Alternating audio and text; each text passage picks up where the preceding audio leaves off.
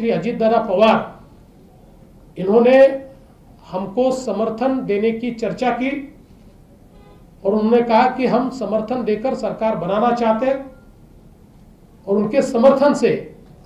हमने महाराष्ट्र में सरकार बनाई। किंतु कल जब माननीय सर्वोच्च न्यायालय के आदेश से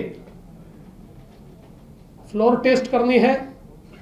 ऐसे समय आज श्री अजीत दादा पवार इन्होंने मुझसे मिलकर कहा कि वे इस सरकार में बने नहीं रह सकते और उन्होंने हमको इस्तीफा दिया तो उनका, उनके इस्तीफा देने से अब बहुमत के लिए जितने विधायक चाहिए,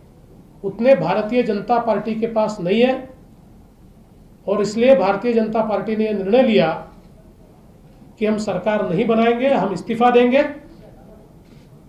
और उस दृष्टि से इस प्रेस कॉन्फ्रेंस के बाद मैं स्वयं